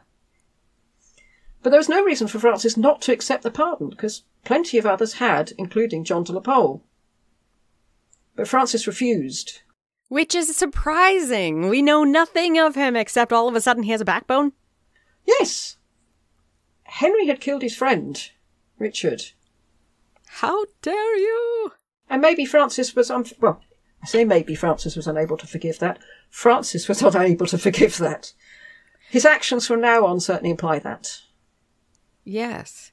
If Francis had accepted the pardon, Henry could have done nothing to it, really, because he's, he was too closely linked to the de, de la Pole senior and junior. Who were now both on his council. Hmm. And why would he bother? I mean, it's just, it's just the chamber, Lord Chamberlain. You wouldn't, I mean, you just think, well, he'll knuckle under and get on with it like the rest of them. Yeah, and so far, he hasn't really been able to show that he has any influence whatsoever. Hmm? Well, Francis' rejection of the pardon meant that he was attainted on the 9th of December it, at Henry's first parliament. All his lands went to the crown, Minster Lovell Hall went to Jasper Tudor, and Margaret Beaufort got some of his property too. Francis was declared a traitor, meaning that if the king's men found him, he could be executed. Yeah, and as you say, this is a mm-hmm. very brave move for someone who up to now has barely put his head above the parapet. Yes. It's a life of, of two halves, definitely. This is like when you have a bunny and all of a sudden it's a killer bunny from Monty Python. What the heck happened here? That's a coincidence. We watched that last night, yes. Oh, did you? And we discovered we both knew it absolutely off by heart. Yep. he has great teeth. Francis had two choices at this point. He could do what most people did when faced with this predicament. He could flee into exile, or he could start a rebellion. If he decided to do the latter, he couldn't expect foreign support, since he hadn't given himself the opportunity to contact foreign leaders to ask for that support. And yet, that was what he chose to do. Margaret. Oh, Margaret. I'm a good friend of your brother. Well, it's hard to know what he thought he was going to get out of it. He had no desire to take the throne. Um, on what grounds would he do that anyway? He had been in contact with John de la Pole, but we're not sure in what capacity. And it seems as if he was just sounding him out as a potential ally rather than suggesting him as a potential king. Oh, but John de la Pole was named the heir. Yeah. But Francis seems to have given little thought to who would become king.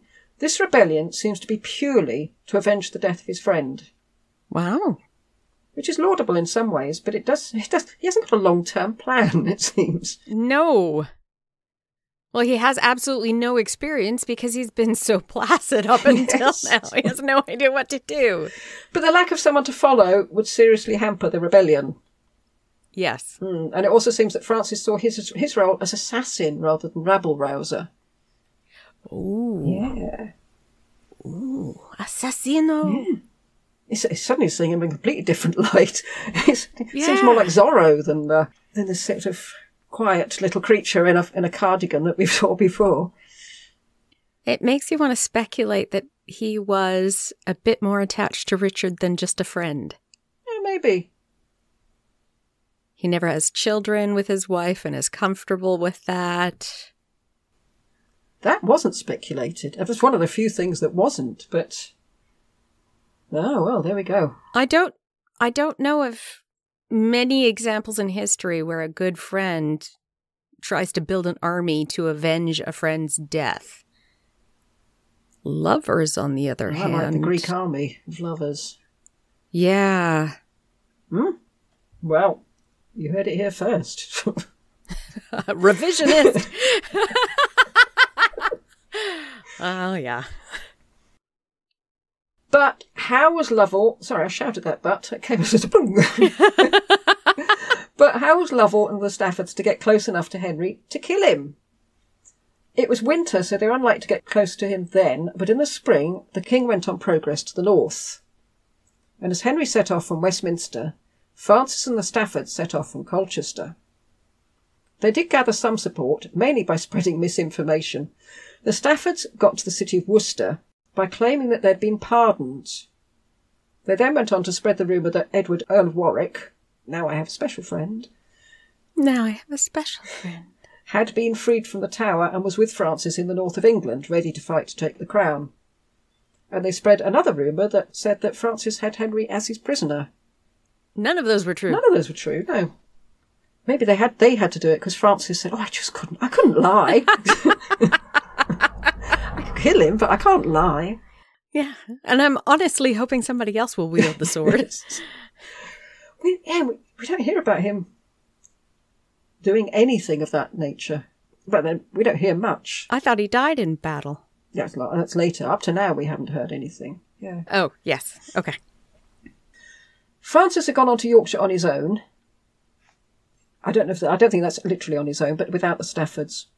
He had better luck than the Staffords because the North was more loyal to Richard than the Midlands had been. The North had even welcomed a Scottish invasion if it would get rid of Henry. this rebellion is often pretty much ignored, and yet it had more, more support than the Buckingham Rebellion.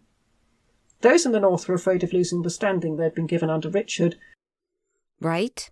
and were happy to side with someone who was planning to kill him. Oops. Henry was tipped off that Francis was leading a rebellion in a conversation we've come across before. Sir Hugh Conway, or Convey, I've seen both, went to the king to warn him, and he even knew the exact date when Francis Henry was planning to leave Sanctuary. But when he, he was asked to reveal his sources, he said he wouldn't, even if he were to be drawn by wild horses. Whereupon, quote, Wild horses were found? Whereupon, quote, the king was angry and displeased with me for my goodwill, unquote. And we heard about this conversation in Richard Nanfan, Nanfan's episode. Nanfan! Conway was one of the men who'd held that treasonous conversation in Nanfan's house in Calais, and he was the one who warned against tipping Henry off about their suspicions of Lord Daubeney because of how he'd been treated when he tried to tell Henry about Francis's rebellion. Right. Don't, don't bother. You're, you're just going to get getting into trouble yourself. Yeah, uh, he likes to go after the messenger. Yes. And it's interesting that Henry seems to have had no inkling of the rebellion. And even when told about it, he wouldn't believe it. Oh, wait. Francis? F- Francis. Who? Are we talking about the same. Francis? Well, Francis was able to get out of sanctuary without being apprehended. Because nobody believed he was there. no, no, no. He, he- he's isn't he in the drawing room reading a book? Well, maybe he heard that Conway was talking to Henry and changed the date of his planned departure. The Croyland Chronicle, reporting the rebellion, doesn't mention Lovell. I mean, poor Francis, he's not even mentioned in reports on his own rebellion. Oh no! However, proclamation against Francis were issued before he reached York with the intention of assassinating the king. So hopefully it wasn't 2,000 words this time. Henry's preparation for the rebellion, according to Polydore Virgil, writing 20 years later, quote, But since this development called for diligence, lest time be given to his adversaries for increasing their forces, he commanded Duke Jasper of Bedford to go against the enemy with 3,000 lightly armed men, a goodly part wearing leather breastplates, and advised him of his own plans. In the meantime, he himself gathered what soldiers he could. Unquote. So Henry also commissioned others to array troops, including the Stanleys. And it was obvious he was expecting to fight a fairly large forces. Hmm, don't think that was going to happen. No. In the event, not a shot was fired because Jasper offered pardons to those who threw down their weapons. But if that was the case, it didn't apply to all the rebels, or Henry was being disingenuous because he did put some rebels on trial. Well, Francis didn't get a pardon. He did a Perkin in that he crept away at night and left his men to face the music. and at that, all the men, all his men accepted the pardon. As Polydore Virgil put it, Francis, more fearful of danger than avid for glory, ran non-stop into the county of Lancaster. Unquote. I love the idea of running on. I can't breathe. I can't breathe. what happened to my litter of bears? But Polydore may not have got this entirely right. Events seem to have gone in the other direction. The troops left Francis before he left him. Maybe. I could see that. James would have been like, uh, no, you're on your own. Yes. we thought this was a rebellion, but it really isn't, is it? No, no. there are more of them than there are of us, I think. So There are a lot more of them. And you neglected to bring swords I think because you've I'm- I'm never going done this before. That's what I'm do. Yeah. But Francis wasn't fi- finished. He took a few men and went on to York, where he intended to ambush Henry and either kidnap him or kill him. There's not been some dispute about that. Um, you get the you get the impression he's like Cato from the Pink Panther. You know? He's hiding Yes. in wardrobes and leaping out. Yeah. And completely ineffectual. Virgil says that the court was tense. Richard III was still popular in the north. If Henry were attacked by Lovell and his men, would any of the people of York go to his aid? Or would they join in and make things worse for Henry? I mean, Henry's, hmm. Henry's been quite brave just to go there, really, with all his many thousands and thousands of men. According to the, the Croyland Chronicle, it was apparently a fluke that Henry Percy, the Earl of Northumberland, spotted the rebels. Or it's possible that Francis contacted Northumberland to try and bring him into the conspiracy, but that backfired. And Northumberland may have said it, he just happened to spot the rebels by accident because, although it would look for, good for him to ref, refuse the offer to join the rebellion, it does imply that Francis must have thought he was a bit ropey in his loyalty to Henry to have asked him in the first place. Hey, Yes. I heard you don't like Henry. I do, I do, I like it. I really like him. Are you sure? But it was either Northumberland's good fortune or his loyalty to Henry which defeated the rebels. Some rebels were caught and hanged the same day. Francis laid low in York, being hidden in people's Of course houses. he did. Can I please have a cup of cocoa while we wait? Yeah, if you don't mind, I'm just going to put my feet up for a few minutes. Fire's nice and warm over here. Yeah, but it does show that people were willing to hide him because presumably there was a reward. So he, yeah. he was hidden until he was able to flee the city. but it's probably because he's so polite Yes. and he's off with his feet up in front of the fire knitting a sweater. There's no way this man can be part of the rebellion. He says he's Francis Lovell, but I don't think it is. no, it can't be. leave, him, leave him be. I expect he's mad. the Stafford brothers went into sanctuary in Abingdon with Abbot Sante. Henry arrested them anyway, saying that there was no sanctuary for traitors. right. And we don't know where Francis went or whom he stayed with. If Virgil is right, he went to Lancashire, where he may have stayed with Thomas Broughton, who went on to help. Or Broughton. Thomas Broughton. He went on to stay with Thomas Broughton, who went on to, to help Francis and John de la Pole when they landed with Lambert Simnel. Francis was in hiding for around nine months. So, and yet no one betrayed him. I mean, that's pretty good going. I am starting to wonder. Eh, Francis doesn't actually exist. He's Oh. brought up every once in a while as a focus for something. And the reason he's never caught or nobody has any complaints about him is because he doesn't actually exist. It's like all these Robin characters yes. that, that are brought up, Yes. and then people have, uh, uh, rebel in the name of Robin of Redesdale or somewhere. But they, Yes. it's just a name. Yes. Wow. This is becoming very revisionist. Uh, Richard, the, Richard III is gay, and Francis Lovell doesn't exist. but then if he doesn't exist, Richard doesn't have to be gay. Very true. but I mean, you could pull out, since nobody knows who he is, hmm. because he's so in the background of everything, you could pull out anybody and say it's Francis Lovell. yeah, he's like the Scarlet Pimpernel. Yes. Wow. Fancy us doing an episode on someone who doesn't exist. Hmm. Um, by January 1487, Francis and a few other men were known to be out of the country and in Burgundy with Auntie Margaret. Polydore Virgil reckoned it was Francis who convinced Margaret to join the rebellion, but I can't imagine she took much persuading. No, we're, we're not happy with Henry. I'm in. stamping her foot. At the beginning of the next month, Henry was with his Privy Council in Sheen. John de la Pole attended the first of the meetings, and then it was discovered he'd left the court. In fact, he was already overseas and on his way to Burgundy. And soon after, Elizabeth Woodville was sent to a monastery in Bermondsey. So, coincidental, or was was did Henry suspect her of being in contact with the rebels?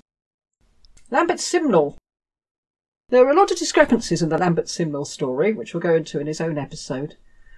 The timing of the events just they don't add up. He was said to have gone over to Burgundy with John de la Pole, the Earl of Lincoln, Okay. so presumably Francis would have come across him over there.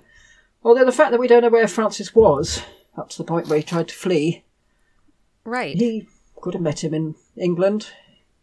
We just don't know. And we don't know anything about Francis. Again, he doesn't exist. It seems likely that Francis hadn't really looked into who they should follow. The most ill-conceived plan. Yes. well, you assume it's got to be Edward Earl of Warwick or John de la Pole. Once they're all in Burgundy, they could start perfecting their plan. or creating one. The others have got plans, whether he has or not. there are contemporary accounts of this, but these must inevitably have been based on hearsay. And again, Francis is barely mentioned in them, despite presumably being one of the main plotters. Maybe it was because Lincoln had pretended to be loyal, so he became the great hate figure. Ah. Francis' antics have been a bit farcical, so yeah, maybe he was less so.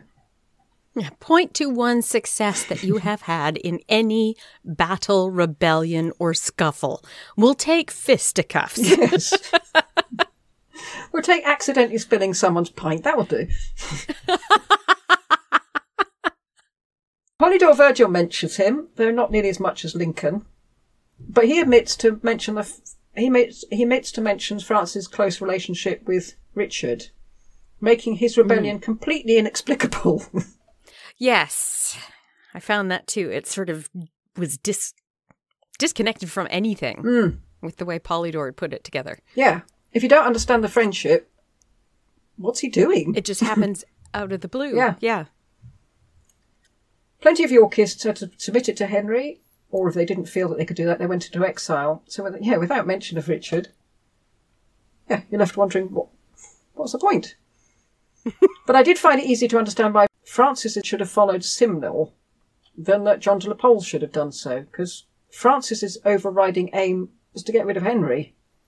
If following the son of an organ maker from Oxford could do it, well, fine. do that, whatever it takes. True.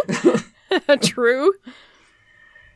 Uh, he, yeah, probably wasn't that interested whether John de la Pole disposed quietly of the boy or whatever they planned to do afterwards. I mean, if, if he got rid of Henry, that's it. Francis, got. Francis probably just gone home by that point.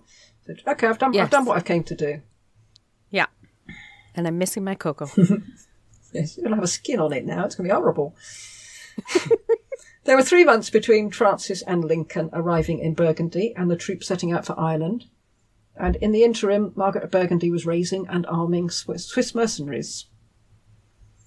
In May 1487, Francis Lincoln and Lambert Simnel set off for Ireland. Or Simnel was already in Ireland. Again, the timeline is ambiguous. right. And as well as Margaret's Swiss mercenaries, Maximilian sent German mercenaries. Or at least according to the chronicler, Molinet. Did he? Don't know.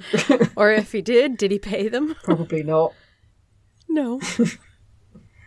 I'll pay you when you get back, okay? Honestly. Yes. Honestly. Yes. Francis was at the ceremony to crown Simnel and at the feast afterwards. But again, there's no mention of him. We can only surmise he was there because he must have been there. I mean, it'd be, it'd be stranger if he weren't. Would it? We don't know if he attended the, the Parliament at Drogheda. Oh boy. But you were to think that one of, as one of the main instigators, he would have. But he wasn't a political animal, so who knows? Back in England, though, Francis was thought to be dangerous. Because they didn't know him. John Paston was advised not to visit Anne Lovell, Francis's wife, for fear of being thought suspect. As we don't know if Anne supported her husband in her rebellion, she's always portrayed as the abandoned wife but it is possible that she took a more active role. One of the more reasons that Paston was wary of being suspect was that he had passed on information to Henry about Francis' whereabouts that had been proved wrong. Ooh, If he'd been visiting Anne, could she have deliberately given him information to draw the hounds off her husband? Ah. Or she's quite happy that she doesn't have a husband and nobody knows about it. Yes. she doesn't marry again, so. When the troops landed in northeast England, Francis was with the German mercenaries. There they are. Whether they've been paid or not, they're there. They come in. He said you would pay. Yes. He said, What? they marched the 100 miles to Bramham Moor, where they intercepted Lord Clifford before he could reach Henry's other soldiers in York. Uh, I was a bit confused about the Cliffords because this is the time between when the Cliffords were attainted by Edward IV after um, Okay. the Battle of Towton, I think, and when Robert Clifford's testimony did for William William Stanley. So by rights there shouldn't have been any Cliffords, but so I'm not sure where this Lord Clifford fits in. Maybe so someone going around but calling himself Lord Clifford, even though he's not meant to. Francis led the Yorkist troops. really? Yes, and he. T- wait, wait, wait, wait. Did he have a name tag on the back like a jersey today so everybody knew who he was? He probably gave him a little pep talk at the beginning. Now, has everybody got everything? You got your lunch? Okay, right. We're going to go and attack. Have you gone to the bathroom? Yes. you won't be able to go once we start. no, you're going to be surprised. They took Clifford by surprise at night, and Clifford's men were forced to flee. Oh, oh my goodness. From that one by, tr- by tricking them and arriving at night. well, I did say he's more of an assassin than a than a soldier. John de la Pole, the Earl of Lincoln, was not allowed to enter York because the city of York had decided to side with Clifford and Henry. Henry Percy as well. The the Earl of Northumberland was there, and so de la Pole met Henry's troops at East Stoke on June the sixteenth. Yes. Francis had joined him on the 12th. The Yorkist army was led by Francis, John de la Pole, and the Earls of, the Earls of Desmond and Kildare, and Martin Schwartz. Schwartz. De la Pole and Martin, and Martin Schwartz were killed in the fighting, but Francis was not on the list of the dead. Because everyone said, was he here? the York Civic Records reported that he was, quote, discomforted and fled, unquote. no, he said, I'm actually, I'm not very comfortable here. Yes, yes. You you go on without me. I'll catch up. S- Actually, I saw a really nice looking pub just down the road. I'll see you there. He was last seen on his horse crossing the River Trent. So, what happened to him? There are several contemporary theories, and by several I mean loads. Oh no. But well, I'm not going through them all. Polydore Virgil said he died in battle. Edward Hall and Ralph, Ralph Holinshed said that he died soon after the battle, presumably of injuries. But they were both writing the following century, so. A reasonable supposition was that he went to his mother's house. His mother was dead by then, but she had a, their property in Stoke Bardolph, which was just 13 miles from the battlefield, where, again, it's said to have probably died of his injuries. And there's a grave in the local church of a soldier who was said to have fought in the Battle of Stoke. It could be Francis. See, he didn't actually exist. He never existed. His dad hasn't got a gravestone. He hasn't got a gravestone. Getting to look a bit suspicious. Or he could have gone to Burgundy. Or he could have fled to Scotland. He was on a list of people given safe conduct by James the Fourth to Scotland in 1488. But does that mean he, he was actually in contact with Francis, or was he offering it as a sort of general blanket? You know, if if, if any of you are alive, you, you can come to Scotland. But the hmm. York record mentions that a, quote, simple and pure person, unquote, had met Francis in Scotland. Oh yes. Or he was given sanctuary by Maximilian in the Holy Roman Empire. Or others thought he'd fled to Minster Lovell Hall and died there. I think he's with Loch Ness Monster. Yes. he and Nessie are having dinner Yes. and cocoa. Along with the Yeti. To, to go back to the come with me if you will bit, Yes. It's said that in the 18th century a skeleton was found in an underground chamber. People put two and two together and thought, missing Lord Lovell, skeleton in Minster Lovell Hall, it must be Francis Lovell. Sadly, this seems very unlikely. okay. I checked on Google Maps. The quickest route from East Stoke, Not- Nottinghamshire, to Minster Lovell, Oxfordshire, is down the A46 and is 106 miles. And it would take Ooh. it would take you two hours and 14 minutes by car. It would take you weeks. Yes. If he'd been injured, would he have travelled all that way? Uh, he was near York. Surely he must have known someone who could have hidden him. He didn't seem to have any trouble finding people to hide him the last time round. Unless he didn't exist. Well, he might have thought there's no place like home and gone back to Minster Lovell, but Minster Lovell wasn't home anymore. It was Jasper Tudor's home. Oh, Yeah. yeah. You couldn't exactly show up, knock on the door. Hello, um, I'm not feeling well. my Coco's still on the tea. So I've no idea who that poor man who was in the underground cave, but it wasn't Francis Lovell. But there was actually a man there in was an someone under underground there, cave. yeah. Hmm. It seems he couldn't have hidden out with his wife unless she was a very good actress, since she was writing to John Paston, amongst others, to find out where her husband was. In 1489, Anne took a religious vow. So she seems to have decided or known that Francis was dead by then, and she decided not to marry again. Hmm. Even though she was only 28. Either that shows a strong affection towards Francis, or, as you suggested, she decided that one husband was quite enough. Yes. Thank you. Done that. I'm done. it's thought she didn't actually become a nun because it's later known she looked after her nephews by Francis's twin sister, Joan. Okay. But it seems fitting we don't know what happened to him because it fits with the pattern of his life. yes, it very much does. Because I, I saw him not as not existing, but I just felt that he was the invisible man right to the very end. Yes. And continues to this day. so, Hmm. that's it. Oh, goodness. Now we have to try to rate this. Okay. Well, you're trying to rate someone who isn't, doesn't exist, and I'm trying to rate the invisible man, so it's. And Fibberly. Intrigue.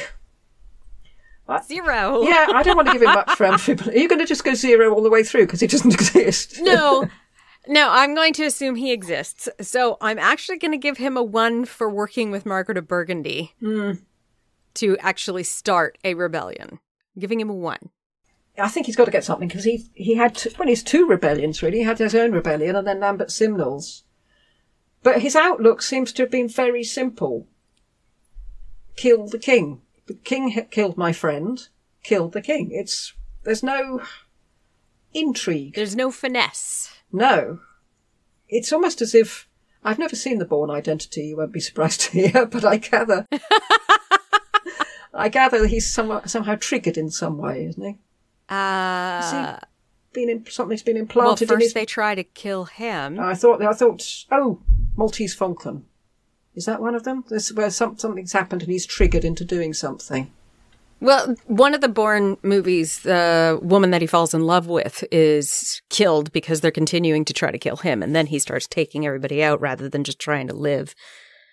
Yeah. And I've never seen the Maltese Falcon, so I don't know. Right. Probably leave all this bit out then. It seems to be completely John. Wick. We'll go with John Wick. No, we can't go with John Wick because John Wick actually can kill people. I'm going to leave it at a two. Two rebellions, two points. Yeah, I think so. Anti-peristasis. I mean, he'd gone up and down. I mean, that's that's what you asked for, really, an antiperistasis. But he did he though? He didn't really go up and down. He became He a didn't- which is a thing. It's a but it's just a word. Yes. No title or money went with it. Or I mean no lands or money went with it. He certainly went down. Yes, he definitely went down. So I'm going to give him points for that because antiperistasis is down as well as up. True. I'm going to give him four because Four. oh, no, hang on, I'm thinking. I was No, I'm going to give him justification for that four. yes. I'll give him three because I'll give him a bit more if he was actually executed. But for all we know, he got away and lived a lovely life in Scotland, stroke Burgundy, stroke Holy Roman Empire, stroke Hawaii, for all we know. His own house where Jasper Tudor didn't realize he was there. Yes. so, what are you giving him? Anything? Well, he definitely went down. I mean, ultimately, what happened to him was catastrophic for his status in society, Yes. especially if he's dead. Yes. Um, I'll give him a two because he did get the viscountcy and then he died. Yeah. Okay. Martyrdom. Zero. He fled. Well, he gave up everything to avenge Richard, which is a sort of martyrdom. True. He was risking his own life to avenge his friend. But did he risk? Because he, he left a bunch of these. He was he was hiding in wardrobes and things, waiting to jump out at Henry. and presumably, once he'd killed Henry, he wasn't going to get away. True, and he did die ultimately. We think. Somehow. Actually, I'll give him a four. He didn't do anything crazy, but it wasn't wasn't effective. And it's it's it's quite it's a noble thing. Stand up for your friend. Who was creepy as all get out and may have killed children. Well, that makes it even more of a thing, doesn't it? That he's, he's staying next to. what would you say? Four. I said four. I'm going to go for five because yeah, he risked his life for his friend, and I think that's good. Okay. Be team. Has to be zero. They didn't even know who he was then. Well, he has a village named after him, but then I suppose most so does most of the nobility. People go to Minster Lovell to this day. Does he, or was it named after his family? His family. His, then that's not him. He took a prominent role in endowing Magdalen College, Oxford. Did he? Yes. Are we sure? Yes. He founded a chantry there to pray for the souls of himself and his wife. Not his father, Not his father. but unfortunately that was a victim of the 16th century reforms, so you can't still see that. In tw- on the 20th of February 1484, Lovell was granted a license with John Russell, Bishop of Lincoln, and John, Duke of Suffolk, his former guardian, to found a fraternity at St Helens, Abingdon, Oxfordshire. I went to school at St Helens in Abingdon. So and you didn't know about him. The only thing I know about Minster Lovell was that there was an article in the paper years and years and years ago that they hunted cats. Now that's all I can remember about that. If anyone lives in Minster Why? Lovell, was there ever an episode of cat hunting? Anyway. Yes, this fraternity was to have 12 masters and would be called the Fraternity of the Holy Cross.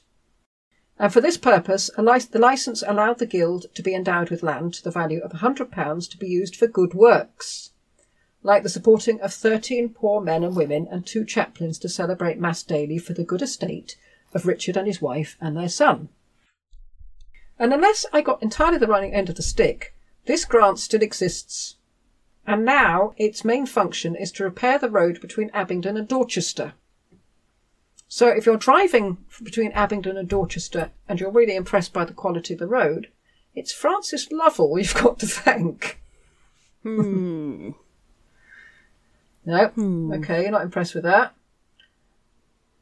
Uh, Well, no, that is pretty impressive if it keeps going. And he does have the poem that names him, sort of. that's true. Yes, The dog. That's true. Yes, the lovely poem that uh, calls him a dog. So I'm assuming that British would know him if they heard that. Is that rhyme still fairly Not really. well known there? Not really. No. No. So no. No. I'll give him one for the road. He lost everything, so he didn't have anything to hand down.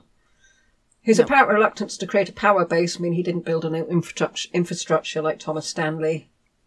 We don't hear of him doing any substantial building apart from Magdalen College, Oxford. Uh, he doesn't have children. He appears in Shakespeare's Richard III. That's got to be something. But he's the hench- henchman who was given the task of executing Hastings, which is not true, but it is a Not form of true. Yes. So everybody who ever studies Shakespeare and Richard III would know of him. Hmm. They just wouldn't know the true story. That's a two. So, I can't give him much for a team. I'll give him a two. One for the college and one for the road.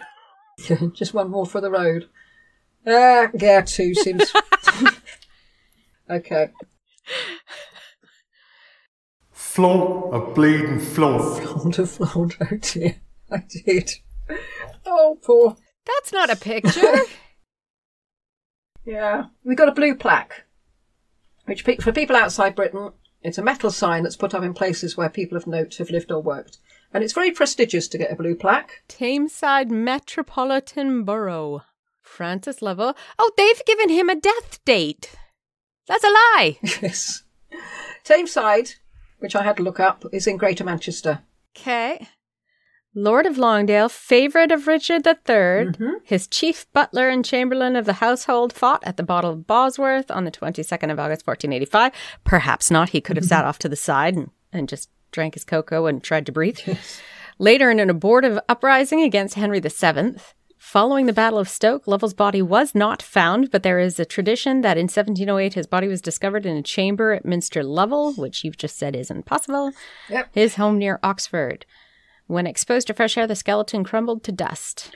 Unveiled jointly by councillor blah blah blah blah blah. In August 2001. When you look at the amount of words there, there's actually more words about the man in the, in the secret chamber than there is about the real Lovell. Yes, there is. oh, level. And there's Okay. a there's a picture. so far, Yeah, I know, not going to say, but there's an illu- it looks like an Uh, illumination from a manuscript, and it shows someone who's meant to be Lovell. I'm sorry. Is he on the left? yes, he appears If to be he's wearing on a the left, crown. why is he putting a crown on his head? I have serious doubts this is Lovell. Uh, uh, mm. Yeah. Well, it said it, he was being welcomed into the um, sanctuary in Colchester, and that's a picture of him Okay, his his horse is tiny. He's got a tiny head. The um the bishop that is welcoming him into the abbey is taller than the horse. Hmm. And then the people behind him look like munchkins, except they look like they're on their knees with the way it's been painted. they look like they might be praying. I assume they were on their knees, but they. Oh, is it? If they are on their knees, that doorway is very short. The bishop's. on- I think the bishop's on his knees, which makes the horse even smaller. there appears to be a giant black centipede crawling up the hill behind them as well. I'm not sure. yeah, it looks kind of like a spider. Maybe they're supposed to be ferns. I don't know, but that abbey is even smaller then if they're all on their knees. The doorway is barely above the one kid's head.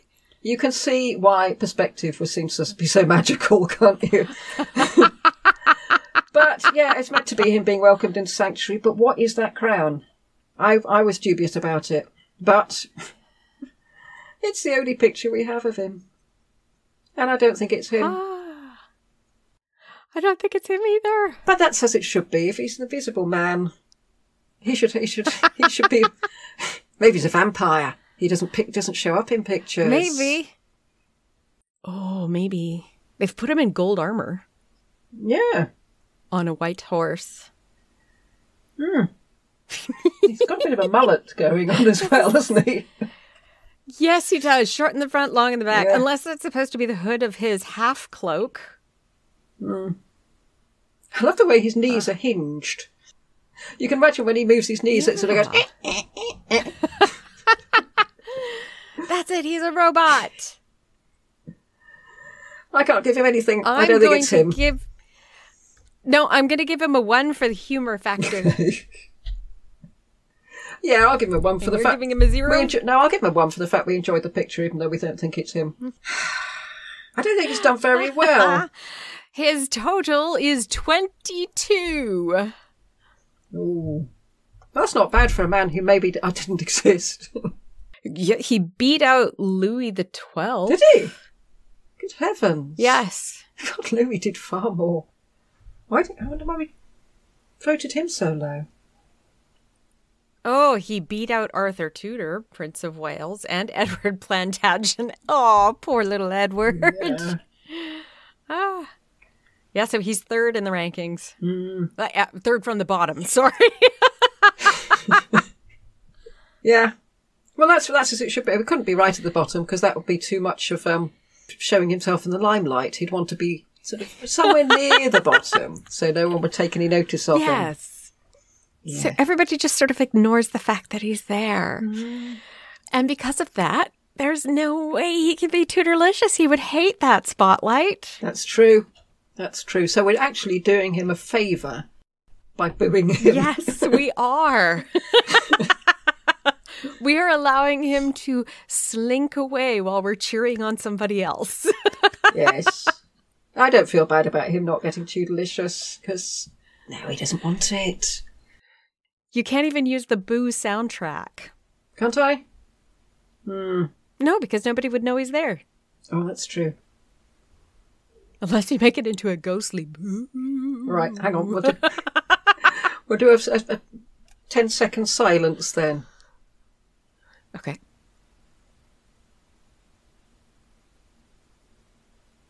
That's enough. I think Yeah. empty air. It's, it's- not empty air. It's, well, it's um, quite painful to listen to, isn't it? no, leave it in. Leave it in. I feel sorry for him. All he wanted to do was kill the king. we think. And then have a cup of cocoa in front of the fire with maybe bunny slippers on his feet. No. Oh. Can I have someone else now, please? okay. I just realised something. This episode has gone on for over two hours. This is the long. I think one of the longest episodes I've done. On a non existent person ever. Okay. Da da da da.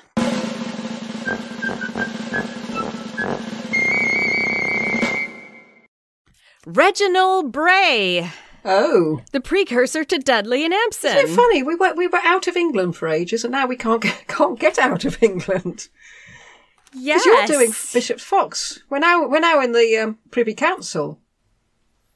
Yes. Yes, yes, yes. Okay, Reg- I'm looking forward to that one. yeah. And see if he was as bad as um, Dempsey and Makepeace. I keep wanting to call. him. Nobody could be as bad as Dudley and Empson. it's not going to happen. Okay. Actually, I'm looking forward to that. Yep.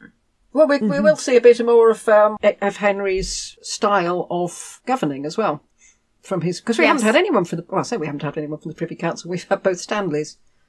Yes, but Reginald was a bit more influential, I think. Yeah, I think Since so. a lot of what followed on was him training the people below him. Mm. At least that's what it said in the Margaret Beaufort episode, because she was one of his counselors, her counselors. He was one of her counselors. Yeah, that's right. Okay, jolly good. Give it a go. First Reginald we've had, anyway. Yes.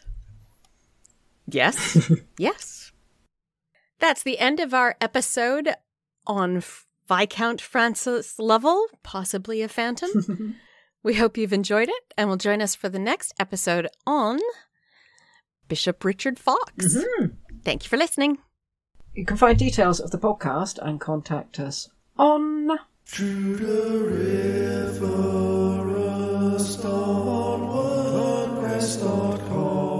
Email at gmail.com.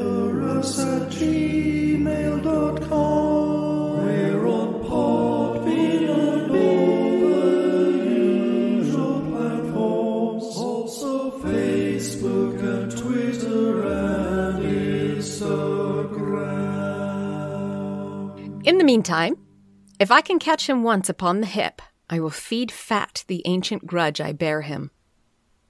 If it will feed nothing else, it will feed my revenge. That sounds quite dramatic for him, actually, doesn't it? Yes, it does. I went for the revenge part of it rather than the cocoa part. Anyway, Goodbye. goodbye.